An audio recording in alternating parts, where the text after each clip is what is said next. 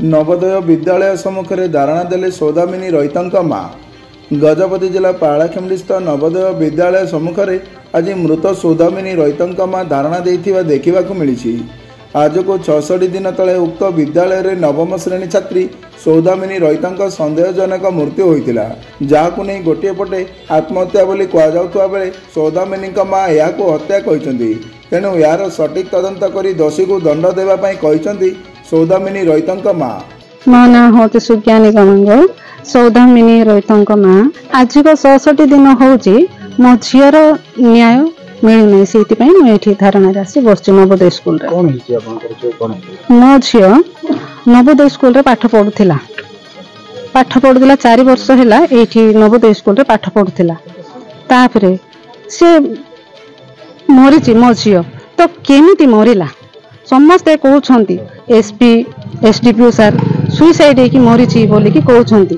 ତ ସେ ମୋ ଝିଅ କେମିତି ସୁଇସାଇଡ୍ ହେଇକି ମରିଲା ଆମେ ତ ଦେଖିନୁ। ଯେତେବେଳେ ପ୍ରିନ୍ସିପାଲ ସାର୍ କହୁଛନ୍ତି ଝୁଲନ୍ତା ଅବସ୍ଥାରେ ଦେଖିଲି ବୋଲିକି କହୁଛନ୍ତି ତ ସେ ଝୁଲନ୍ତା ଫଟୋଟା ଏବେ ପର୍ଯ୍ୟନ୍ତ କାହିଁକି ଦେଖାଉନାହାନ୍ତି ଆମକୁ? ସେ ଝୁଲନ୍ତା ଫଟୋ ଏବେ ପର୍ଯ୍ୟନ୍ତ ଆମେ ଦେଖିନୁ ଜାଣିନୁ କାହିଁରେ ମରିଛି ମୋ ଛୁଆ?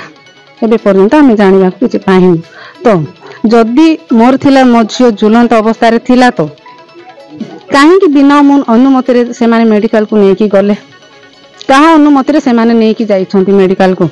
ଆମର ପ୍ରେଜେଣ୍ଟରେ ନେଇଥାନ୍ତେ ନଚେତ ପୋଲିସ ପୋଲିସ ଷ୍ଟାଫକୁ କହିକି ତାଙ୍କର ଅନୁମତିରେ ନେଇଥାନ୍ତେ। ବିନା ଅନୁମତିରେ କାହିଁକି ଡେଡ୍ ବଡିକୁ ହସ୍ପିଟାଲକୁ ନେଇଛନ୍ତି?